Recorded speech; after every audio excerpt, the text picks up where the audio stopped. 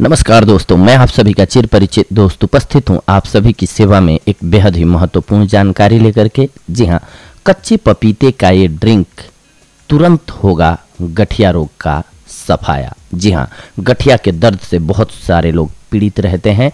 इसी से रिलेटेड आज का हमारा ये वॉइस ओवर है। आपने देखा होगा कि खास करके बुज़ुर्ग लोग जो होते हैं, उनके पैरों में गठिए का दर्द रहता है, जिसके कारण उनको असहनीय पीड़ा से कराहना पड़ता है। चीख पुकार के कारण घर वाले भी मानसिक रूप से परेशान रहने लगते हैं और उनके इलाज के लिए कुछ न कुछ नया करते रहते हैं, लेकिन कोई फ़ायदा नहीं मिलता है।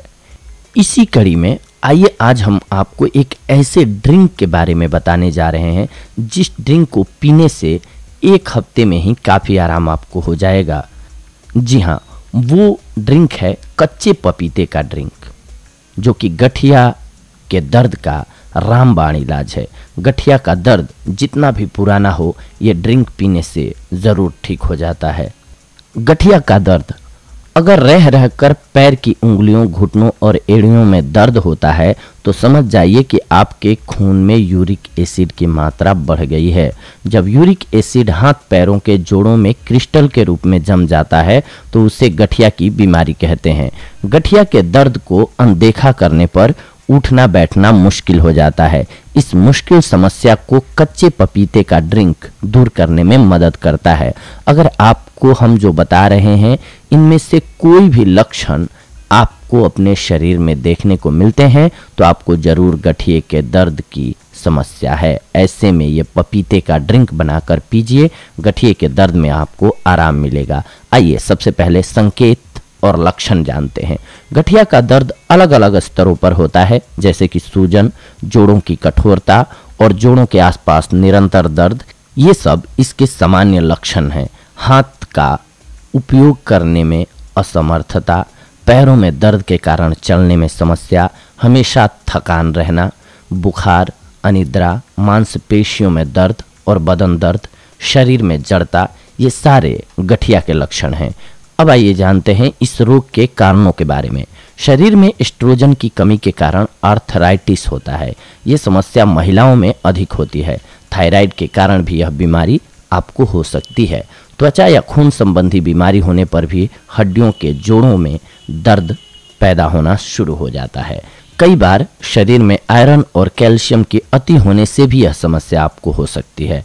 पोषण की कमी के कारण भी कई बार ह्यूमेटाइड अर्थराइटिस होता है, जिससे जोड़ों में दर्द, सूजन, गांठों में अकड़न आ जाती है।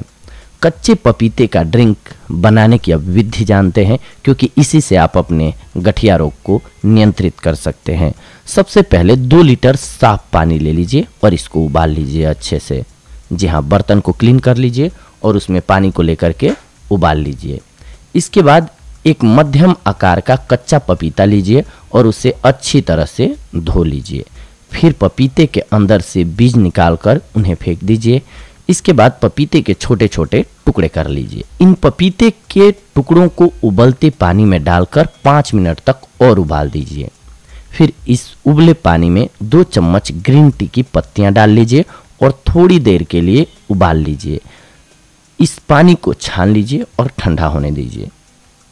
ये आपका ड्रिंक इस प्रकार से बन के तैयार हो जाएगा।